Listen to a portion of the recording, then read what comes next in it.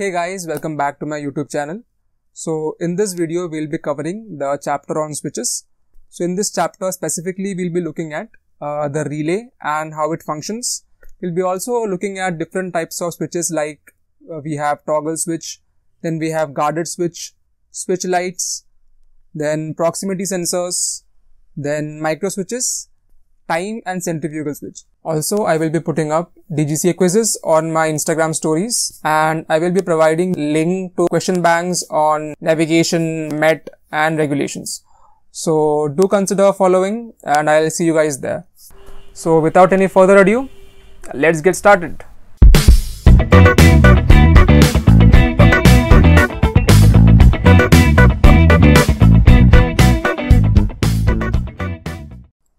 So the initiation and control of aircraft circuits is achieved by the use of switches and relays. So if the switch is open, there will be no current flowing through it and the light bulb will not lit up. If the switch is closed, there will be current flowing through this and the light bulb will light up in this case. Okay. So next we'll look at a relay. So relay is basically an electromagnet. So relay is a low powered circuit okay which is being used to operate a high powered circuit. So as you can see the power supply here is just 9 volts dc okay. Here it is 230 volts ac okay. So this is being used to power this. So if we close the switch okay if we close the switch there will be a current flowing through the circuit okay and whenever an electric current flows there is a magnetic field being generated. Okay. so if the same uh, wire if you coil it up like this the magnetic field being generated will be much much higher. Okay. So that is what they have done here. If you close this switch there will be a magnetic field here. Okay. Which will attract these contacts here okay? And the circuit will be completed. Okay. so earlier the circuit was not completed. There was no current flowing through this circuit. Now due to the magnetic attraction these contacts close like this and there, there will be a current flow through the circuit. Getting it? So basically a low powered uh, circuit is being used to start a high powered circuit. Okay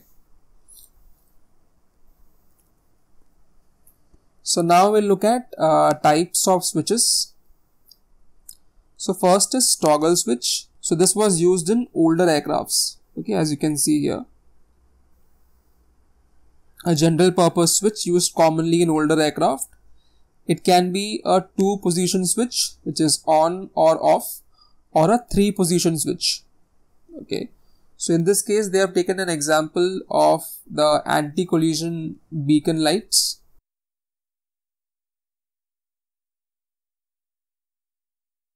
okay.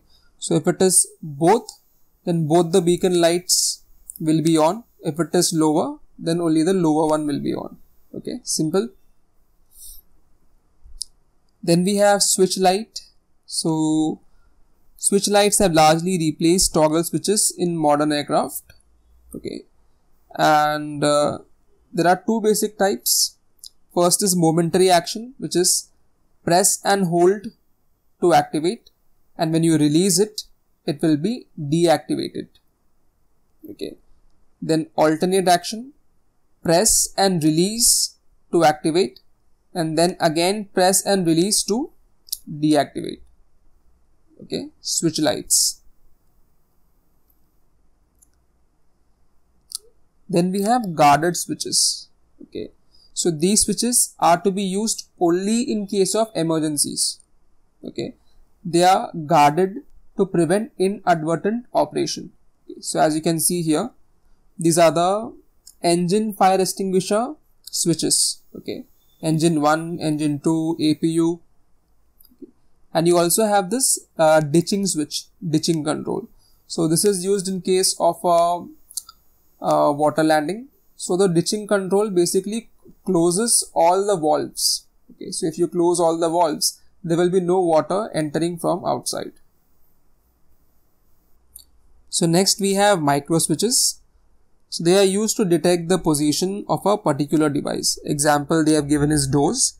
In older aircrafts, uh, they were used to detect the position of landing gear as well. Okay, whether gear was up, gear was down. Okay. Um, so basically, it has an operating plunger which can move up and down. Okay, and depending on the position of the plunger, these contacts can move. Okay, so if the contact is up, it will give one indication. If the contact is down, it will give you another indication. So if we see uh, in these examples here, so if the striker plate hasn't struck the plunger, the contact will be on the upper terminal and it will give the door open indication in the cockpit. If the same striker plate strikes the plunger, the contact will move down and it will give the door closed indication on the cockpit. Okay. It's pretty simple. So next is a bimetallic switch, also known as a thermal switch. So these are temperature sensitive switches which are used in fire detection circuits, battery overheat switch, oil temperature warning light. Okay, all of these examples are there. So basically how it works is there is a bimetallic strip. Okay, so when you heat this strip, okay, when you heat this, the metals expand at different rate. Okay, one metal will expand more, the other one will expand less. Okay, so due to this, the bimetallic strip will move down. So if I can show you, so this is the normal condition. Okay, if there is a overheat situation, the metals will expand at a different rate, and this will fall down. The contact will be connected here, and it will give you a battery overheat warning. Okay. So yeah. And uh, then we have proximity detectors. Okay so in modern aircrafts this is used to detect the position of landing gear. Okay. So it detects the presence of a nearby object without any physical contact. Okay. So there as you can see in this example there is no physical contact but it has detected the presence of the target indicated by this light bulb. There are different types of proximity detectors, major types being inductive, capacitive and magnetic. So we'll look at the inductive and the capacitive type now. So inductive type are used in undercarriage system. Okay, again important for exam. And um, basically detects the position of the uh, landing gear. Okay, so if it is like this, it will detect that the gear is close by and it will give a gear down indication. The gear is up, it will give a gear up indication. Okay. Then we have capacitive type. So it is used to detect high or low liquid levels in a hydraulic or a fuel system. Okay.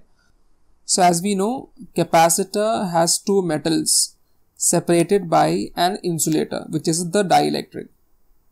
So this dielectric here is a combination of the fuel and air. This part will be air, this part will be fuel. Okay. So lesser the fuel, less the conductivity. That means less electric current will flow through this uh, arrangement and you will get a low fuel indication in the cockpit. Okay. Similarly, if the amount of fuel is more, then more current will flow through this arrangement and the fuel indication will be high. Okay. So inductive and magnetic sensors uh, needs the monitored material to be metal, whereas the capacitive type can monitor either metals or non-metals. Okay. Next we have time switches the example being the APU air intake door. It closes 30 seconds after APU has shut down. Okay. Time switches. So next is centrifugal switches. They can be set to activate or deactivate a circuit based on the RPM of a device. Example starter motor cutout switch. So the APU starts the starter motor, okay, which then starts the engine. So starter motor rotates, in turn the engine rotates and once the engine reaches the self-sustaining speed, this cuts out. Okay. So example of centrifugal switch. So yeah, we are done with this chapter. Hope you guys enjoyed this video. If you have any doubts, do let me know in the comments below. I'll try and answer it. And I'll see you guys in the next one. Bye.